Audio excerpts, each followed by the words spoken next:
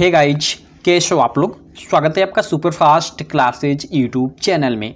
Guys इस video में हम देखने वाले हैं क्लास टेंथ वालों के लिए उनकी हिंदी परिचायिका से एक काफ़ी इंपॉर्टेंट क्वेश्चन जी हाँ दोस्तों, यह क्वेश्चन आप लोग के एग्ज़ाम में चार मार्क में आता है। क्वेश्चन क्या होता है कि एक देखिए पोएम यानी एक श्लोक दे देता है और उसका संदर्भ सहित हिंदी अनुवाद करने को पूछता है। ठीक है, आप लोग के हिंदी परिचायिका में हिंदी परिचायिका क्या है? मैं थोड़ी आपको बताना चाहूँगा इसके बारे में। देखिए, आप लोग हिंदी हिंदी पढ़ते होंगे तो उसमें हिंदी में गद्य पद्य पढ़ते होंगे। ठीक है, और हिंदी के पीछे का संस्कृत का भी पाठ है। ठीक है, आप लोग देखिएगा पीछे आप संस्कृत भी पढ़ते होंगे, हिंदी में ये। तो उसे हिंदी की संस्कृति या हिंदी परिचायिका बोलते हैं? ठीक है, उसी में का एक प्रश्न आता है दोस्तों देखिए ये आ, उसमें से कोई एक श्लोक दे देता है ठीक है? और बोलता है कि इसका मतलब आप संदर्भ सहित हिंदी में अनुवाद कीजिए। और चार मार्क का होता है आप लोग को संदर्भ लिखने का एक मार्क और अनुवाद उसका करने का तीन मार्क यानी पूरी की पूरी आपको लोग उस क्वेश्चन पे आप लोग को चार मार्क दे दिया जाता है। तो देखिए उसमें एक काफ़ी ये इंपॉर्टेंट पैसेज है बोले तो यानी श्लोक है। सॉरी मैंने पैसेज बोल दिया एक पोएम है एक श्लोक है काफ़ी इंपॉर्टेंट काफ़ी अच्छा श्लोक है आप लोग देख सकते हो। आप दो दुर्गामी च साक्षरो न च पंडित। ठीक है?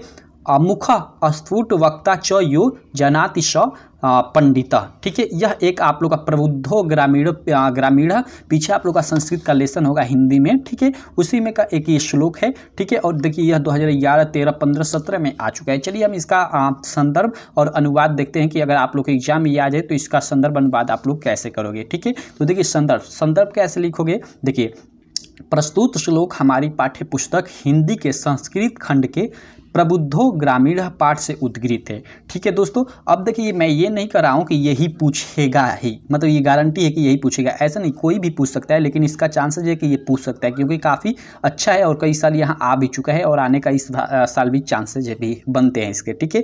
तो देखिए इसका आप इसी तरह लिखोगे अगर आ जाए तो देखिए इसमें क्या होगा कि आपको मतलब ये पोएम दे देगा, कोई भी पोएम दे देगा तो उसको आपको पहचानना होगा कि वह किस लेसन का है। ठीक है दोस्तों? तो इसलिए जो संस्कृत में जो जितना भी आपका पोएम है, हिंदी की संस्कृत की मैं बात कर रहा हूँ, ठीक है दोस्तों? ये नहीं कि संस्कृत सब्जेक्ट की नहीं, हिंदी में जो संस्कृत है उसकी बात कर रहा हूँ, ठीक है? जितने भी उसमें पोएम है, जितने भी श्लोक है, सबको आप अच्छे से देख लीजिएगा, उसका अर्थ क्लियर कर लीजिएगा और ऐसा मतलब उस पर मतलब ऐसे क्लियर कीजिएगा, ठीक है? कि आप लोग के एग्ज़ाम में आ जाए, केवल मतलब पोएम आ जाए तो आप लोग समझ जाइएगा कि ये किस लेसन से है, ठीक है? क्योंकि लेसन का नाम जानेंगे तब भी तो आप संदर्भ लिख पाएँगे। देखिए यहाँ आपको आ, क्या करेगा कि केवल ये आ, जो दिया है ना ये पैसेज या पैसेज में फिर बोल रहा हूँ गाइज़ आदत पर है। ठीक है पोएम ये दिया है केवल ये पोएम दे देगा और कहेगा कि इसका संदर्भ सहित हिंदी अनुवाद कीजिए। तो आप लोग को सबसे पहले पहचानना होगा कि यह किस लेसन का है। तो चूँकि ये प्रबुद्धो ग्रामीण लेसन का है तो आप लोग लिख दोगे कि प्रस्तुत श्लोक हमारी पाठ्य पुस्तक हिंदी के संस्कृत खंड के प्रबुद्धो ग्रामीण पाठ से उद्गृत है। अगर मान लीजिए कोई दूसरा श्लोक होता है यहीं पर मान लीजिए वाराणसी नगरी एक आप लोग संस्कृत में शायद लेसन है तो उसका कैसे लिखते हैं कि प्रस्तुत श्लोक हमारी पाठ्य पुस्तक हिंदी के संस्कृत खंड के वाराणसी नगरी पाठ से उद्गृत है। ऐसे मतलब जिस जिस पाठ का श्लोक हो, उस पाठ का यहाँ नाम लिख दोगे प्रबुद्धो ग्रामीण के जगह, ठीक है? और उसका अब हिंदी अनुवाद करना रहेगा। तो हिंदी अनुवाद भी आप लोग पढ़े होंगे, अगर नहीं पढ़े तो अभी से भी पढ़ लीजिए। किसी भी क्वेश्चन बैंक में उसका अर्थ आपको मिल जाएगा। अच्छे से अर्थ भी आप क्लियर कर लीजिएगा, ठीक है? देखिए, इसका अर्थ क्या होगा? आप तो दुर्गामी च साक्षर न च पंडित, ठीक है?